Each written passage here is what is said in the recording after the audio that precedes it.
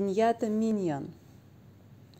Веселая игрушка на день рождения из картонной коробки с конфетами.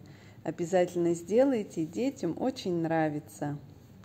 Всем привет! Сегодня сделаем праздничную пиньяту, игрушку на день рождения с конфетами.